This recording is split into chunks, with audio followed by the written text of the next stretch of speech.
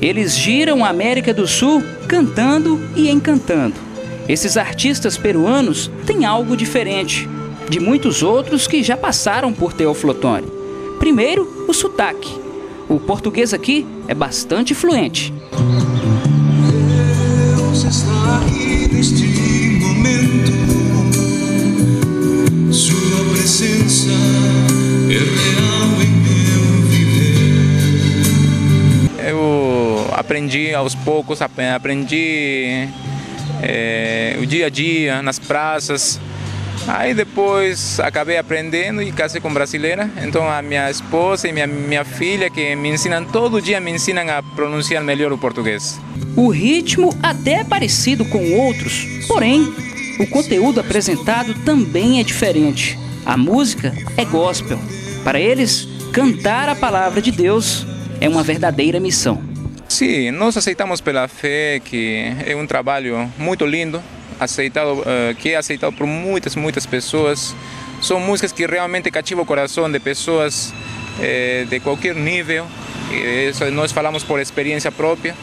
São músicas que trazem paz e muita esperança. Então nós nos sentimos muito felizes de poder compartilhar com as pessoas no Brasil essa música que tem trazido muita, muita esperança. E nós temos essa missão como pessoas que já andamos por muitos anos por diferentes países e aqui no Brasil nos sentimos muito felizes porque o brasileiro é muito acolhedor e para nós é muito fácil, muito fácil, muito, muito agradável poder trabalhar com esse trabalho da música evangélica, né? música gospel. A sapunha é uma flauta feita de bambu. É um instrumento característico do país Peru. Ele dá a melodia para as lindas canções. São apenas dois componentes, mas que parecem uma orquestra inteira. Essa peça bem interessante é o Tchá-Tchá, que é feita com unhas de cabrito. Sim, são, realmente são 15 instrumentos. Nós tentamos utilizar o, o, o, mais que podemos utilizar em cada música, três, quatro instrumentos trocando os instrumentos, colocamos efeitos em cada playback. Então, fazemos que a música seja é, como se estivessem tocando várias, várias pessoas. Então, isso cativa as pessoas, isso faz muito interessante para as pessoas que passam aqui pela praça. E isso de, para nós é muito gratificante, né? Ficamos muito felizes de poder trabalhar na, na música, né? Observamos os CDs que estão sendo vendidos aqui. Quantos vocês já lançaram na carreira? Já temos já 12 volumes instrumental nossos próprios e dois CD cantado em espanhol. Os instrumentos são feitos por eles mesmos. Sim, graças a Deus que eu sempre tive a, a curiosidade em aprender a fabricar. Eu aprendi, Agora eu fabrico e vendo também. Tem pessoas que compram, eu vendo meus instrumentos, que são instrumentos de bambu, instrumentos artesanais feitos em casa.